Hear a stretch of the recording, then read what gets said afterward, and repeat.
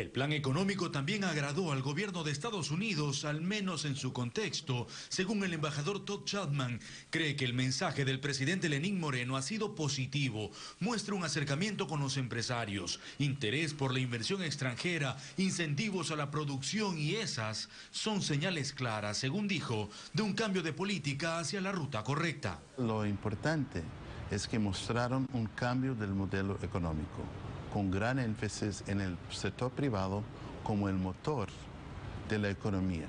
Eso es un, es un giro, eso es una cosa bastante importante para declarar en una manera tan, tan cierta. Pero en estos casos, según el embajador, no hay planes perfectos. La posibilidad de un incremento de aranceles para las importaciones le genera dudas. Yo no estoy a favor de, subir los aranceles.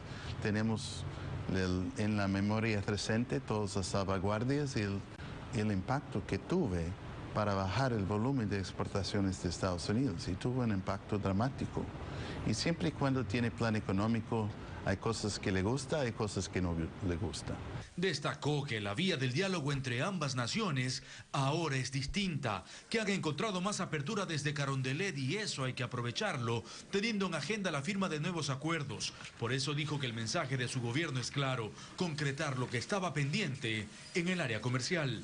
Yo creo que ahora es posible porque las puertas están abiertas para este tipo de cooperación en una manera mejor de que tal vez en años anteriores. Y como es percibido de todos, que el presidente Moreno ha dicho varias veces que quiere refrescar las relaciones.